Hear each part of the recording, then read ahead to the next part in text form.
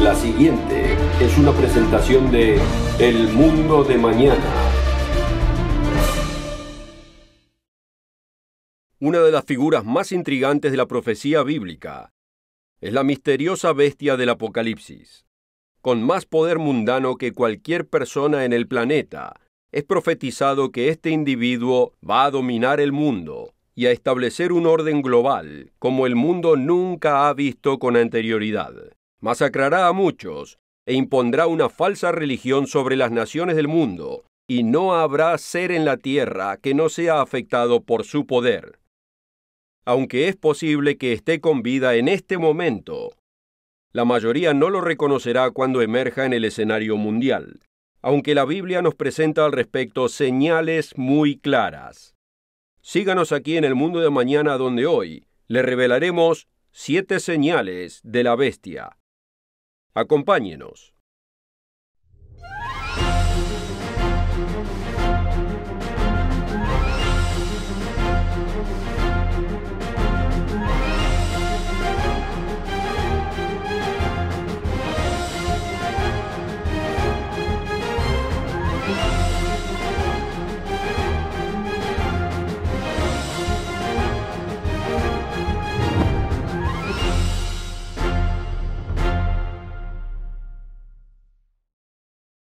Bienvenidos al mundo de mañana. Es un placer tenerlos aquí hoy, y no puedo pensar en otro tema más importante que el que estamos por discutir en detalle. Siete señales que usted podrá usar para reconocer a la profética bestia del Apocalipsis, un próximo dictador global que tendrá impacto sobre todo ser en el planeta. Estaremos cortos de tiempo en este programa, pero cubriremos lo máximo posible y tenemos una guía de estudio con más detalles que le enviaremos absolutamente gratis a todo el que la requiera hoy. Es titulada La bestia del Apocalipsis, mito, metáfora o realidad inminente. Le diremos cómo obtener este folleto a través del programa, así que asegúrese de tomar nota. Y usted lo va a querer. La bestia del Apocalipsis ha sido tema de especulación y fantasía desde que el apóstol Juan escribió al respecto en el Apocalipsis, hace casi dos mil años atrás. Ahí Jesucristo le dio a Juan una visión del futuro, nuestro futuro, incluyendo muchos símbolos exóticos. Uno se trataba de una aterradora bestia emergiendo del océano, con siete cabezas y diez cuernos. Más adelante en el Apocalipsis aparece una visión relacionada de esta bestia siendo montada por una mujer adornada con cosas preciosas y vestida de púrpura y escarlata. Esta bestia, la infame bestia del Apocalipsis, representa a un hombre y el gobierno del que será líder en los tiempos del fin inmediatamente antes del retorno de Cristo. Él y sus acciones son descritos en muchos pasajes de la profecía en la Biblia. Y hoy pondremos varios de estos pasajes en contexto y veremos siete señales que usted podrá usar para identificar a esta bestia cuando emerja en el escenario mundial. La primer señal que consideraremos es la siguiente. La bestia controlará a un núcleo militar, económico y político. Algunos confunden a la bestia del Apocalipsis con el anticristo bíblico, pero esto es una confusión aunque el anticristo es un poder religioso, y como veremos en un momento, estará relacionado con la bestia.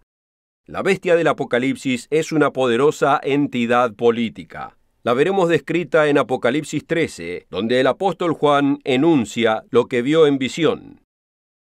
Me paré sobre la arena del mar, y vi subir del mar una bestia que tenía siete cabezas y diez cuernos, y en sus cuernos diez diademas, y sobre sus cabezas un nombre blasfemo. Y se maravilló toda la tierra en pos de la bestia, y adoraron al dragón que había dado autoridad a la bestia, y adoraron a la bestia diciendo, ¿quién como la bestia? ¿Y quién podrá luchar contra ella? Esta entidad política recibirá poder del dragón, o sea, del diablo, y tendrá tanto poder que el mundo entero se maravillará y se preguntarán, ¿quién en el mundo podrá hacer guerra contra ella? tendrá una increíble capacidad militar y dominará el planeta como ningún otro poder que se haya visto en el mundo. El surgimiento de esta temida fuerza militar está íntimamente relacionada con la cabalgata del primer jinete, de los infames cuatro jinetes del Apocalipsis en Apocalipsis 6, quienes traen guerras al mundo de una magnitud sin paralelo. Pero la organización encabezada por la bestia también será una poderosa entidad económica. Y en su caída, al retorno de Jesucristo, Juan registró que muchos hombres de negocio en el mundo llorarán por la destrucción del imperio de la bestia, porque muchos se habrán enriquecido por ella. De hecho, Apocalipsis 18 enumera las mercaderías que este poder negociará, y esto incluye hasta los cuerpos y almas de seres humanos. Y hablando del sistema detrás de la bestia, nos dice que todas las naciones han bebido del vino del furor de su fornicación, y los reyes de la tierra han fornicado con ella, y los mercaderes de la tierra se han enriquecido de la potencia de sus deleites. Aunque esencialmente es una entidad política, existirá un poderoso elemento religioso. La segunda señal de la bestia que queremos enfatizar hoy es la siguiente. La bestia será poderosamente guiada y manipulada por un poder religioso. Esto estará alineado con la antigua práctica del Sacro Imperio Romano, donde el Papa eclesiástico mantenía una poderosa influencia sobre el reinado secular del Sacro Emperador Romano. Esto no es coincidencia, como lo explicaremos más adelante. Apocalipsis 17 muestra a esta bestia en una forma similar a la de Apocalipsis 13, pero con un importante detalle adicional. Vayamos al versículo 3 si tiene su Biblia y léalo conmigo. Aquí Juan describe que es llevado por un ángel en visión hasta un lugar impresionante. Y me llevó en espíritu al desierto, y vi una mujer sentada sobre una bestia escarlata, llena de nombres de blasfemia, que tenía siete cabezas y diez cuernos. Y la mujer estaba vestida de púrpura y escarlata, y adornada de oro, y de piedras preciosas y de perlas, y tenía en la mano un cáliz de oro lleno de abominaciones y de la inmundicia de su fornicación.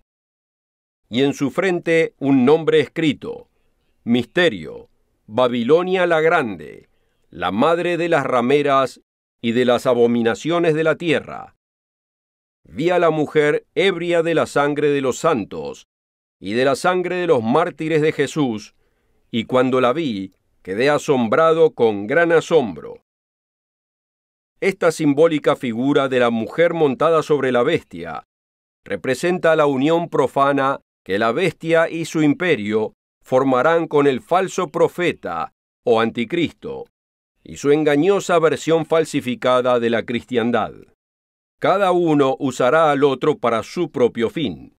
La bestia usará a la religión del anticristo para solidificar su poder y unificar su imperio. Y el anticristo usará al poder político, económico y militar de la bestia para someter su falsa religión en el mundo y llevar a cabo su propio plan diabólico.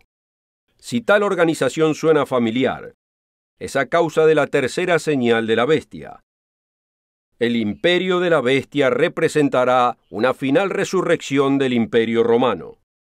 Así como el antiguo Sacro Imperio Romano era una unión entre poderes religiosos y seculares, este nuevo Sacro Imperio Romano será igual, aunque mucho más aterrador y poderoso en magnitud.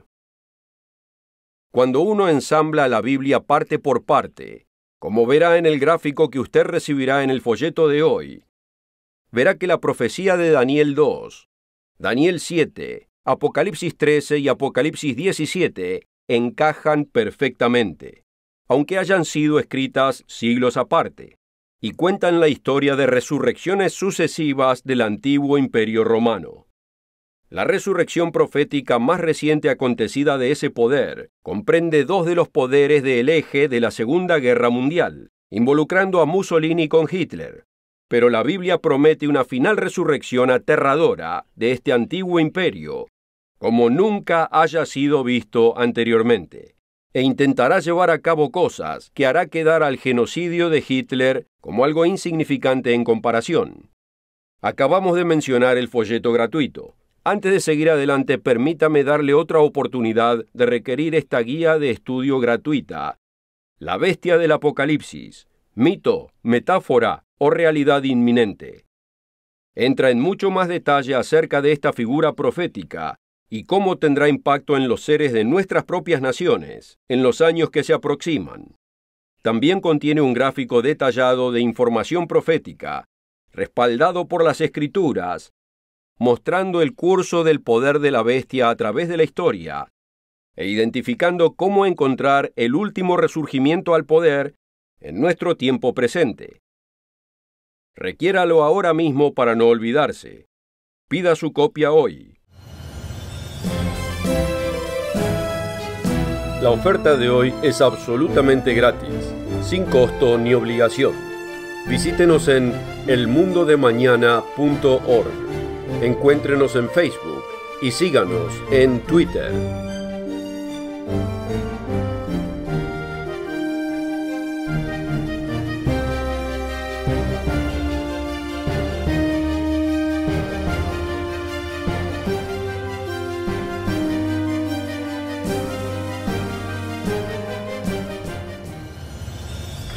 Con esta oferta también obtendrá una suscripción gratuita de la revista El Mundo de Mañana, cubierta de interesantes artículos y perspectivas relevantes de importantes temas de actualidad.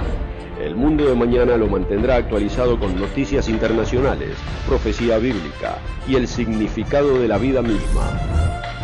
El Mundo de Mañana. Llame hoy. Bienvenidos. En el primer segmento hemos visto tres señales importantes que nos permitirán reconocer al profetizado dictador, la bestia del Apocalipsis. La próxima señal para estar apercibido es cómo en última instancia obtendrá poder en los tiempos del fin. A la bestia le será dado poder por otros diez líderes. Hablando de la bestia de diez cuernos vista por Juan en Apocalipsis 17, el ángel le explica a él el significado de los diez cuernos.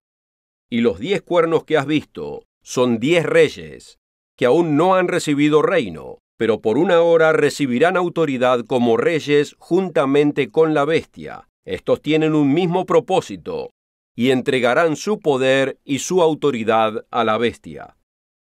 Así que estos cuernos de la bestia montada por la mujer, vistos por Juan en visión, representan líderes políticos de una coalición de naciones o regiones de una organización que tienen autoridad de darle poder a la bestia. Estos diez gobernantes o reyes deben traernos en mente los diez dedos al final de la visión de Daniel capítulo 2.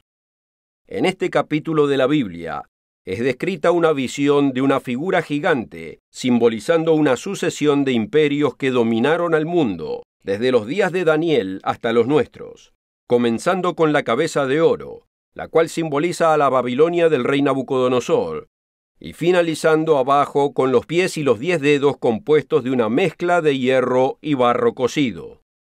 Estos pies y dedos representan la última resurrección del imperio romano, el imperio de la bestia que estamos describiendo hoy. Daniel capítulo 2 describe estos diez dedos en más detalle comenzando en el versículo 42. Y por ser los dedos de los pies en parte de hierro y en parte de barro cocido, el reino será en parte fuerte y en parte frágil. Así como viste el hierro mezclado con barro, se mezclarán por medio de alianzas humanas, pero no se unirán el uno con el otro, como el hierro no se mezcla con el barro. El poder que vemos ahora en la inestable Unión Europea presente, en la forma prenaciente de esta última resurrección del Imperio Romano, que un día será desatado sobre el mundo.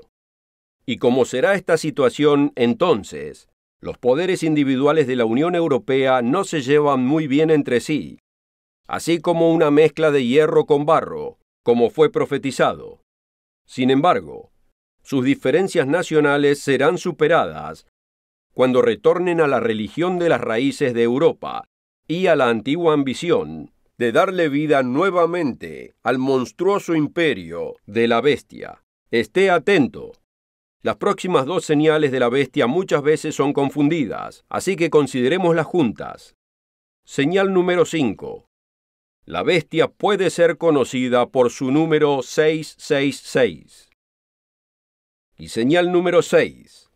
La bestia impondrá su marca en el mundo.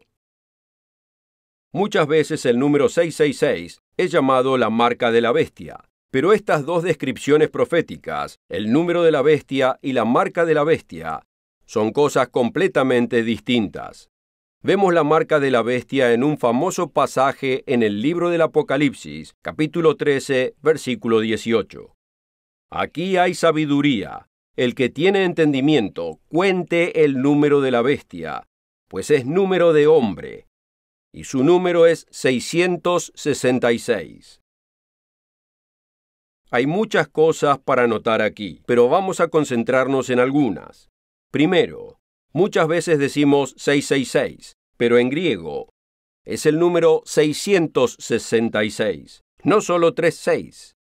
Además dice que el número debe ser contado y que debe haber sabiduría para poder hacerlo. Así que a diferencia de lo que pueda haber visto en las descripciones proféticas de Hollywood, no es ninguna clase de tatuaje que aparenta tres números seis en un hombre, ni es una sucesión de números en un código de barras, sino que es algo sutil, fácil de pasar por alto y con necesidad de sabiduría. Y tiene que ser calculado. Finalmente, el pasaje dice claramente que es el número de hombre, el número de su nombre o título, la propia bestia. Hemos hecho un programa completo acerca de este número y quizás quiera verlo en nuestro sitio web elmundodemañana.org. Fue presentado por mi colega Rod King y puede encontrarlo en el sitio web simplemente poniendo el número 666 en la casilla de búsqueda de la página principal. Y el material que le enviaremos hoy entra en mucho más detalle con respecto a este número, demostrando, por ejemplo, cómo el número 666 está ligado al Imperio Romano y sus líderes a través de la historia, lo cual sugiere una aplicación futura. Pero notemos que se necesita sabiduría para calcular el número. No es algo obvio, sin importar lo que intente decir Hollywood. Respecto a la próxima señal, la marca de la bestia, es algo completamente distinto. Vemos esta marca impuesta por el anticristo a través del poder de la bestia en Apocalipsis 13 versículos 16 y 17. Y hacía que todos, pequeños y grandes, ricos y pobres, libres y esclavos, se les pusiese una marca en la mano derecha o en la frente, y que ninguno pudiese comprar ni vender, sino el que tuviese la marca o el nombre de la bestia, o el número de su nombre. ¿Qué significa esta famosa marca? ¿Por qué debe estar en la frente o en la mano? ¿Qué significa esto? Discutiremos esta marca en la próxima parte del programa, pero antes de quedarnos sin tiempo, permítame darle otra oportunidad de requerir el recurso profético la bestia del Apocalipsis, mito, metáfora o realidad inminente. No le pediremos ni un centavo, nunca lo hacemos. Todos aquí en esta obra internacional simplemente sabemos que los tiempos de este hombre están sobre nosotros ahora. Y queremos que el mundo entero sepa cómo reconocerlo lo antes posible y cómo resistir a su poder e influencia. Al leer este material y este gráfico, le dará la posibilidad de ver a la bestia del Apocalipsis emerger en las noticias que lee cada día. Es totalmente gratuito al requerirlo. Requiera su copia gratis hoy. La oferta de hoy es absolutamente gratis, sin costo ni obligación. Visítenos en elmundodemañana.org. Encuéntrenos en Facebook y síganos en Twitter.